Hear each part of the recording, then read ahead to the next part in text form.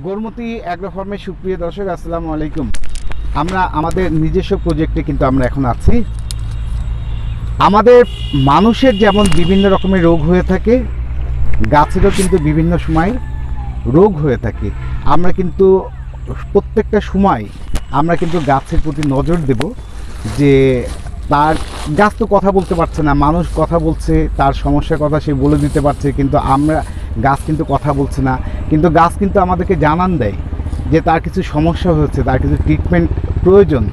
এটা কিন্তু আমাদেরকে বলে, আমরা কিন্তু খেয়াল করি না।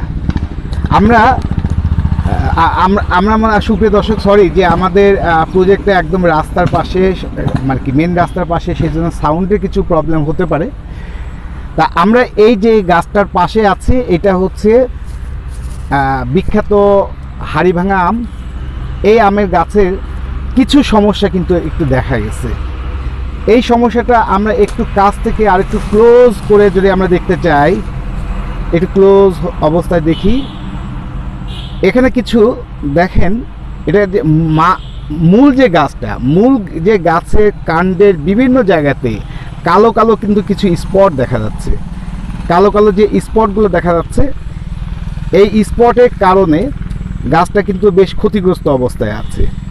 এবং গাছের গঠনটা যদি আমরা দেখতে চাই, এই গাছটার গঠন, এই গাছটার গঠন, এই পাশের যে গাছটা আছে, এই গাছটা কতটা ঝোপালো কতটা ঝোপালো, কত ডালপালা এবং সতেজ অবস্থায় আছে। কিন্তু এই গাছটা যদি আমরা দেখি, এই গাছটা পাতাটা কিংবা কাণ্ডর উপরের অংশ, বেশ কিছু কিন্তু বেশ খারাপ অবস্থায় আছে।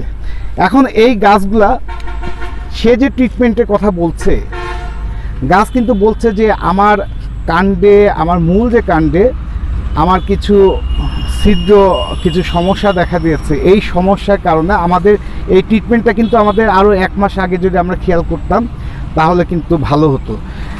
আমরা এই ধরনের গাছে যদি এরকম রস কিছু বের হয়, ছোট ছোট কালো ছিদ্র হয়ে ওখান থেকে কিছু রসানি বের হয়, তাহলে আমরা সেই সময় কি করতে পারি?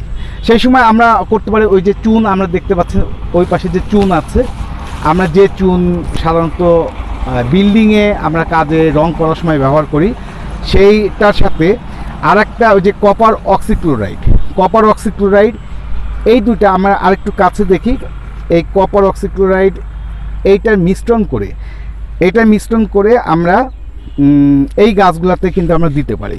যদি আমরা আমরা এখানে দেখি যে আমাদের অন্যান্য গাছগুলো কি অবস্থায় আছে আমরা এই গাছগুলোতে আমরা দিয়ে দিয়েছি। এই যে প্রত্যেকটা গাছ আমাদের যে মূল গাছ আছে মূল গাছের এখানে আমাদের গোলমতি ফার্মের এই প্রজেক্টে পাঁচশোটা গোলমতি গাছ লাগানো আছে বাগান। এটা ফলের বাগান এবং নার্সারি দুইটাই।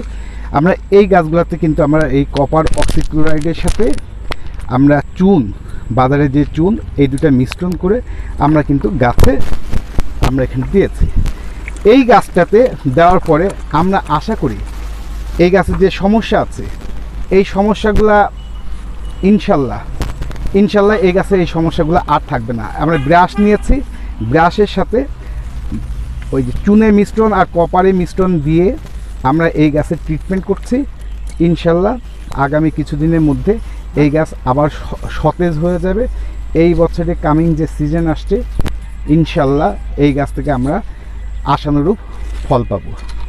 তা ধন্যবাদ আমার চ্যানেলের দর্শকরা। আপনাদের আরও কিছু জানার থাকলে আমাদের কাছে প্রশ্ন করবেন। সাধ্য অনুযায়ী আমরা আপনাদের প্রশ্নের উত্তর দেব। আসসালামু আলাইকুম।